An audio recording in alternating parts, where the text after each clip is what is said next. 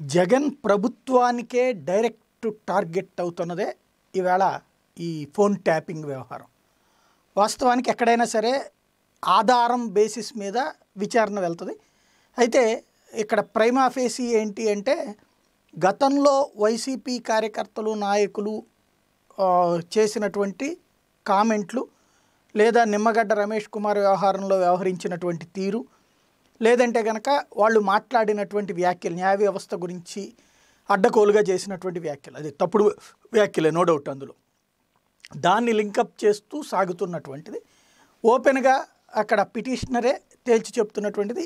ఆధారం లేదు but circumstantial evidence అంటే సంబంధిత చుట్టుపక్కల ఉన్నటువంటి ఆధారాల ఆధారంగా విచారణ. ఇప్పుడు దీంట్లో ఇంతకుముందే చెప్పుకున్నట్టుగా ఇప్పుడు సరే ఒక మంచి పని న్యాయస్థానం కూడా సర్వీస్ ప్రొవైడర్లకు కూడా ఇచ్చింది కాబట్టి నోటీసులు. సర్వీస్ ప్రొవైడర్లు చెప్పాలి. వాళ్ళ దగ్గర నుంచి ఇంతకుముందే నేను చెప్పాను ఎలాగా ట్యాపింగ్ చేయడానికి వీలు ఉంటుంది అనేది బిఎస్ఎన్ఎల్ అయినా ఎయిర్టెల్ అయినా టాటా అయినా జియో అయినా ఎవరికైనా సరే ముందు ఒక లెటర్ పెట్టాలా?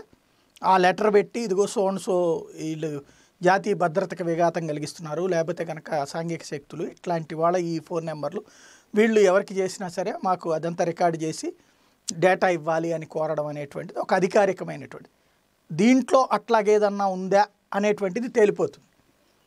అది లేకుండా సెకండ్ యాంగిల్లో ట్యాపింగ్ అంటే వీళ్ళు చెప్పేటువంటిది ఇజ్రాయెల్ ఎక్విప్మెంటో లేకపోతే మరొకటి మరొకటో. అది చెయ్యాలంటే ఖచ్చితంగా ఆ ఫోన్ని మానిటర్ చేయాలి. ఇది టెక్నికల్ ఎక్స్పర్ట్ చేయాల్సింది అంటే ఫోన్ టెక్నికల్ ఎక్స్పర్ట్స్కి ఇస్తే అప్పుడు అందులో హ్యాకింగ్ కానీ లేకపోతే అందులో సాఫ్ట్వేర్ ఏదన్నా వేసి దాంట్లో దాన్ని ట్యాప్ చేస్తున్నారనేటువంటి తేల్చడానికి వీలవుతుంది. ఇది రెండవది జరగాలి అంటే ఈ ఫస్ట్ది కొట్టివేయబడాలి. అంటే ఫస్ట్ దాంట్లో ఆధారాలు లేవంటే అప్పుడు రెండవది మళ్ళీ వెళ్ళాల్సి ఉంటుంది. అప్పుడు ఫోన్లే ఇవ్వాల్సి ఉంటుంది వాళ్ళకి. ఈ అసలు అది దానికి ఏంటంటే ఆధారం డైరెక్ట్గా అయితే కనుక ఈ సెకండ్ కోణంలో అంటే డైరెక్ట్గా ప్రభుత్వంతో సంబంధం లేకుండా చేసేటువంటిది లేదంటే కనుక రికార్డెడ్ కానటువంటి టెక్నికల్ ఫాల్ట్ అయితే కనుక దొరకదు. దానికి అప్పుడు ఈ లింకప్ అవసరం అవుతుంది దాన్ని బట్టి తేలాల్సి ఉంటుంది. ఇది కనుక స- తేలితే అప్పుడైనా ఇప్పుడైనా అది తేలింది అంటే ఫోన్ ట్యాపింగ్ ఖచ్చితంగా శిక్షార్హమే నో డౌట్. అందులో మూడేళ్ళ జైలు శిక్ష నుండి మంత్రులు గతంలో రాజీనామాలు చేసినటువంటి వాళ్ళు ఉన్నారు ముఖ్యమంత్రులుగా తొలగించబడినటువంటి సందర్భాలు అంటే ఆ, స్టేజ్ దాకా వెళ్ళినటువంటిది ఒక ఒకటి రెండు కేసుల్లో ఉన్నటువంటిది ఉంది. ఇక్కడ క్లియర్గా ఉంటుంది. అయితే ఇక్కడ విషయం ఏంటంటే ఆధారం ఉండి ఇదిగో ఓ పదివేల రూపాయలు ఇక్కడ దొరికింది మిగతా పది లక్షలు మాయమైంది అనేటువంటి కోణం వేరు.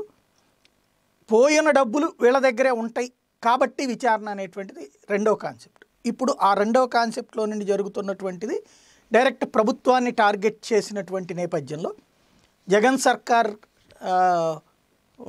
సంబంధించి ఓ పక్కన వరుస ఎదురు దెబ్బలకి ఇది పరాకాష్టే అవుతుంది. త్వరలో దీనికి సంబంధించి ప్రభుత్వం గద్దె దిగుతుందా దించడానికి ఈ విధమైనటువంటి రూట్లో వెళ్తున్నారా?